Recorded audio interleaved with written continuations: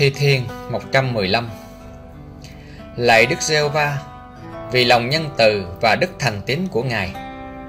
Nguyện vinh quang không thuộc về chúng con, không thuộc về chúng con, nhưng đáng thuộc về danh Ngài. Vì sao các nước dám nói rằng Đức Chúa Trời của chúng ở đâu? Đức Chúa Trời chúng ta ở trên các tầng trời. Ngài làm bất cứ điều gì vừa ý Ngài. Còn hình tượng của chúng làm bằng bạc, bằng vàng là công việc tay người ta làm ra. Hình tượng có miệng mà không nói Có mắt mà chẳng thấy Có tai mà chẳng nghe Có mũi mà chẳng ngửi. Có tay nhưng không thể sờ Có chân mà không biết đi Có cổ họng mà chẳng phát ra tiếng nào. Kẻ nào làm hình tượng và nhờ kệ chúng Đều giống như chúng. Hỡi Israel Hãy tin cậy Đức giê va Ngài là sự cứu giúp và cái khiên của họ.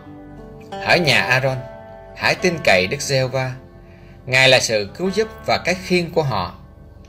Hỡi các người kính sợ Đức giê va Hãy tin cậy Đức giê va Ngài là sự cứu giúp và cái khiên của họ. Đức giê va nhớ đến chúng con. Ngài sẽ ban phước Ban phước cho nhà Israel, Cũng sẽ ban phước cho nhà Aaron.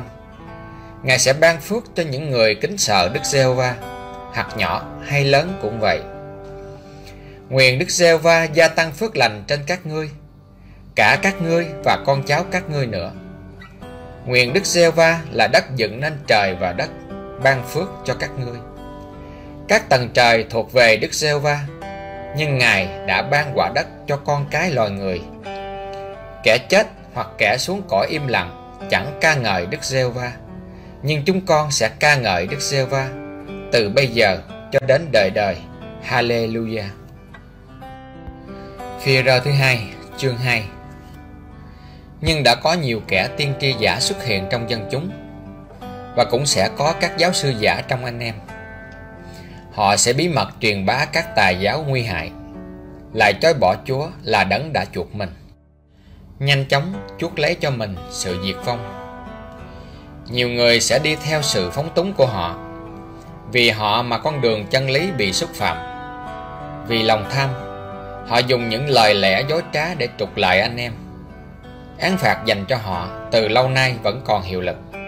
Và sự diệt vong dành cho họ chẳng hề ngơi nghỉ. Vì nếu Đức Chúa Trời chẳng dung thứ các thiên sứ khi họ phạm tội, Nhưng ném vào hỏa ngục và giam giữ trong nơi tối tăm Để chờ Ngài phán xét. Nếu Ngài chẳng dung thứ thế gian xưa Nhưng dùng trận lục lớn tiêu diệt thế giới vô đạo đó Chỉ giữ lại Noe người truyền giảng về sự công bình và bảy người khác. Nếu Ngài đã đón phạt các thành Sodom và Gomorrah, khiến họ ra đóng cho tàn để làm gương cho những kẻ muốn sống vô đạo đức. Và nếu Ngài đã giải cứu Lót, là người công chính rất đau buồn về cách sống phóng túng của những kẻ vô lương. Vì người công chính này sống giữa họ, Ngài lại Ngài, linh hồn công chính của ông bị dằn vặt bởi những hành động vô lương của họ.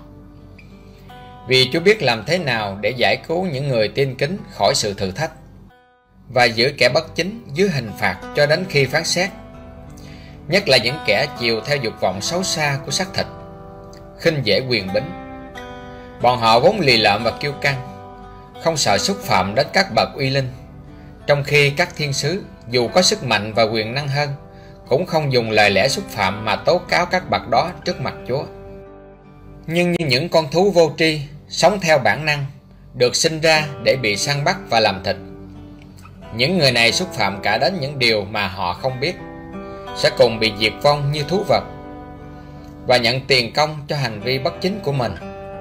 Họ xem việc chè chén giữa ban ngày là lạc thú. Họ là những dấu dơ, vết bẩn, thích thú với đủ kiểu lừa dối khi ngồi ăn uống chung với anh em. Cặp mắt họ chứa đầy tư tưởng ngoại tình, phạm tội không biết chán. Họ dụ dỗ những người nhẹ dạ Tâm địa họ quen thói tham lam. Họ là những đứa con đáng nguyền rủa. Họ đã bỏ con đường ngay thẳng Nên bị lạc lối. Đi theo con đường của Balaam Con trai Bô Sô Là kẻ ham thích tiền công của tội ác. Nhưng ông ta đã bị quả trách Vì sự sai phạm của mình. Một con lừa câm nói tiếng người Đã ngăn cản sự điên rồ của nhà tiên tri đó. Họ là những dòng suối không có nước, những đám sương mù bị bão cuốn đi. Sự tối tăm mờ mịt đã dành cho họ. Vì họ nói những lời khoe khoang rỗng tết dùng những tham muốn đòi bại của xác thịt mà dụ dỗ những người vừa thoát khỏi tay những kẻ sống trong làm lạc. Họ hứa đem tự do đến cho người khác nhưng chính mình lại làm nô lệ cho sự băng hoại vì bất cứ điều gì đánh bại một người thì người ấy trở thành nô lệ cho điều đó vì nếu nhờ sự nhận biết Chúa và cứu Chúa chúng ta là Đức Chúa Giêsu Christ mà họ đã thoát khỏi sự ô uế của thế gian, nhưng nay lại bị lôi cuốn và phải quy phục những điều đó một lần nữa, thì tình trạng cuối cùng của họ còn tệ hại hơn lúc đầu. Thà họ không biết con đường công chính còn hơn là đã biết mà còn quay lưng lại với điều răng thánh đã được truyền dạy cho mình. Điều sẽ đến cho họ thật đúng với câu tục ngữ. "Cho liếm lại đồ nó đã mửa, Và heo tắm sạch, lại lăn lóc trong vũng bùn. Ezechiel, chương 35 Lời của Đức giê va phán với tôi.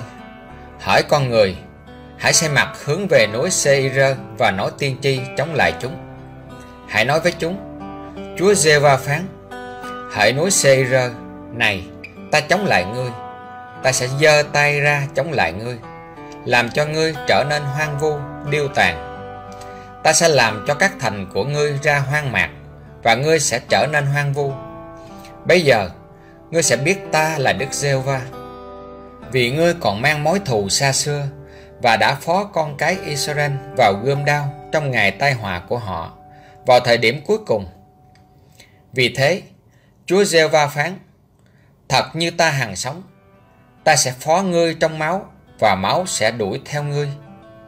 Vì ngươi không ghét chuyện làm đổ máu, nên máu sẽ đuổi theo ngươi. Vậy ta sẽ làm cho núi Seir hoang vu, điêu tàn và khiến nó bị hủy diệt, không còn người qua kẻ lại nữa. Ta sẽ làm cho các núi nó đầy những kẻ bị giết.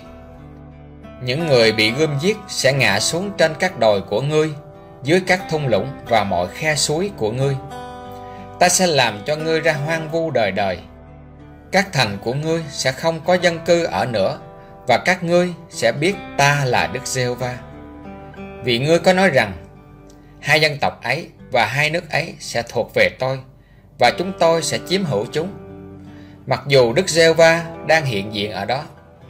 Cho nên Chúa giê va phán Thật như ta hằng sống Ta sẽ đối xử với ngươi theo cơn giận và lòng ghen ghét mà ngươi đã đối xử với họ khi thù ghét họ và ta sẽ bày tỏ chính mình ta ở giữa họ khi ta phán xét ngươi. Ngươi sẽ biết ta, Đức giê va đã nghe những lời sỉ nhục mà ngươi đã nói ra chống lại các núi Israel rằng các núi ấy đã bị hoang vu và đã phó cho chúng ta ăn nuốt. Các ngươi đã lấy miệng tôn cao mình để chống lại ta và đã nói nhiều điều xúc phạm ta. Thật, ta đã nghe điều đó. Chúa giê va phán trong khi cả trái đất vui mừng Thì ta sẽ làm cho ngươi trở thành hoang vu Vì ngươi đã reo vui khi sản nghiệp nhà Israel bị hoang vu Cho nên ta cũng đối xử với ngươi như vậy Hỡi núi Seir Ngươi với cả Edom Tức là cả xứ ấy sẽ bị hoang vu và chúng sẽ biết ta là Đức Giê-hô-va. Ezechiel chương 36 Hỡi con người, Hãy nói tiên tri về các núi của Israel rằng Hỡi các núi của Israel, Hãy nghe lời Đức giê va Chúa giê va phán. Vì kẻ thù có nói về các ngươi rằng, Ha ha, Những gò cao đời xưa đã thuộc về sản nghiệp của chúng ta rồi. Vì thế Hãy nói tiên tri rằng Chúa giê va phán Thật Vì chúng đã làm cho các ngươi nên hoang vu Và tấn công các ngươi từ mọi phía để các ngươi trở nên sản nghiệp của dân sót lại của các nước và các ngươi bị dân chúng chê bai, đàm tiếu. Do đó, hỡi các núi của Israel, hãy nghe lời của Chúa Giê-hô-va. Chúa Giê-hô-va phán với các núi và các gò, với khe suối và thung lũng, với nơi đổ nát và với các thành bị bỏ hoang, đã phó cho dân sót lại của các nước chung quanh cướp bóc và nhạo báng.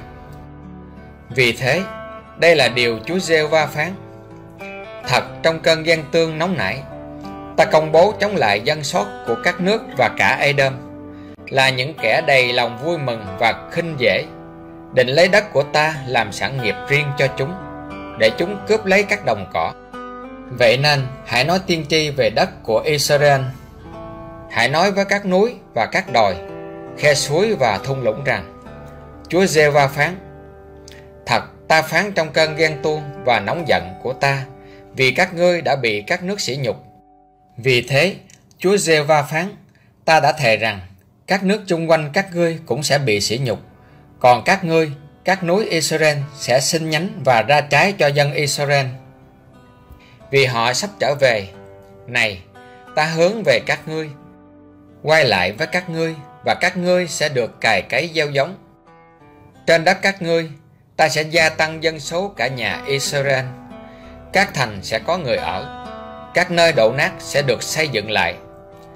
Ta sẽ thêm loài người và loài vật trên đất các ngươi, chúng sẽ gia tăng và nảy nở. Ta sẽ làm cho các ngươi đông dân như ngày xưa và ban ơn cho các ngươi nhiều hơn thuở ban đầu. Bây giờ, các ngươi sẽ biết ta là Đức giê va Ta sẽ làm cho có dân cư sống trên đất của ngươi, tức là dân Israel của ta. Thật, họ sẽ được ngươi làm sở hữu và ngươi sẽ là sản nghiệp của họ. Ngươi sẽ không làm mất con cái họ nữa. Chúa giê va phán, vì người ta nói với các ngươi rằng, hỡi đất, ngươi nuốt người ta và làm mất con cái của dân ngươi. Vì thế, ngươi chẳng nuốt người ta nữa và không làm mất con cái của dân ngươi nữa. Đức giê va phán vậy. Ta sẽ không để cho ngươi nghe những lời sỉ nhục của các nước nữa. Ngươi sẽ không còn chịu sự khinh bỉ của các dân nữa và không khiến dân mình vấp phạm nữa. Chúa giê va phán vậy. Lại có lời Đức giê va phán với tôi.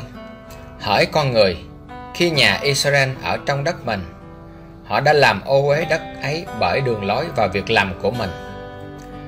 Đường lối họ ở trước mặt ta như là sự ô uế của một người đàn bà trong kỳ kinh nguyệt. Ta đã đổ cơn thịnh nộ của ta trên họ vì có huyết mà họ đã làm đổ ra trên đất và vì họ đã làm ô uế đất ấy bởi thần tượng mình. Ta đã làm cho họ tan lạc trong các dân và họ đã bị phân tán trong nhiều nước. Ta đã phán xét họ theo đường lối và việc làm của họ. Nơi nào mà họ đã đến trong các nước, họ đều phạm danh thánh ta đến nỗi người ta nói về họ rằng đó là dân của Đức giê va nhưng họ phải bị đày khỏi đất của Ngài. Nhưng ta lo ngại cho danh thánh của ta mà nhà Israel đã phạm trong các dân tộc là nơi họ đã đi đến. Vì vậy, hãy nói với nhà Israel rằng Chúa giê va phán Hỡi nhà Israel Không phải vì cớ các ngươi mà ta phải hành động nhưng vì cớ danh thánh ta mà các ngươi đã xúc phạm trong các dân, Là nơi các ngươi đã đi đến. Ta sẽ thánh hóa danh vĩ đại của ta, Là danh đã bị xúc phạm trong các dân. Thật, Giữa các dân đó, Các ngươi đã xúc phạm danh ấy. Chúa giê va phán, Như vậy, Các dân tộc sẽ biết ta là Đức giê va khi ta bày tỏ trước mắt chúng sự thánh khiết của danh ta qua các ngươi. Ta sẽ thu lại các ngươi từ giữa các dân, nhóm các ngươi lại từ mọi nước và đem vào đất riêng của các ngươi. Ta sẽ rưới nước trên các ngươi và các ngươi sẽ trở nên sạch. Ta sẽ tẩy sạch hết mọi sự ô uế và mọi thần tượng của các ngươi. Ta sẽ ban lòng mới cho các ngươi và đặt thần mới trong các ngươi ta sẽ cất lòng bằng đá khỏi xác thịt các ngươi và ban cho các ngươi lòng bằng thịt. Ta sẽ đặt thần ta trong các ngươi và khiến các ngươi noi theo luật lệ ta. Thì các ngươi sẽ giữ mệnh lệnh ta và làm theo. Các ngươi sẽ ở trong đất mà ta đã ban cho tổ phụ các ngươi. Các ngươi sẽ làm dân ta và ta sẽ làm Đức Chúa Trời các ngươi. Ta sẽ giải cứu các ngươi khỏi mọi ô uế. Ta sẽ gọi lúa mì tốt lên, khiến cho nảy nở thêm nhiều và không đem cơn đói kém đến trên các ngươi. Ta sẽ thêm nhiều trái cây và hoa lợi của đồng ruộng để các ngươi không bị xấu hổ ở giữa các nước vì đói kém. Bây giờ, các ngươi sẽ nhớ lại đường lối xấu xa và việc làm không tốt của mình. Các ngươi sẽ ghê tởm chính mình vì tội lỗi và những điều kinh tởm của các ngươi. Chúa giê va phán, chẳng phải vì có các ngươi mà ta làm như vậy các ngươi phải biết điều đó. Hỏi nhà Israel, hãy cảm thấy hổ thẹn và nhục nhã về đường lối mình. Chúa giê va phán, trong ngày mà ta tẩy sạch mọi tội lỗi các ngươi, ta sẽ làm cho các thành có dân ở và những nơi đổ nát sẽ được tái thiết. Đất hoang vu sẽ được cày cấy thay vì bị bỏ hoang trước mắt mọi người đi qua. Chúng sẽ nói rằng, đất hoang vu này đã trở nên như vườn Eden, những thành đổ nát, hoang vu và điêu tàn, bây giờ đã được trùng tu và có dân ở. Bây giờ các dân tộc còn sót lại chung quanh các ngươi sẽ biết rằng ta, Đức giê va đã xây dựng lại nơi bị tàn phá và trồng lại nơi bị phá hủy.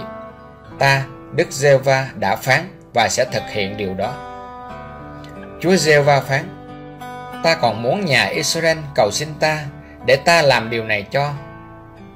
Đó là ta sẽ làm cho dân số họ gia tăng như một bầy chiên.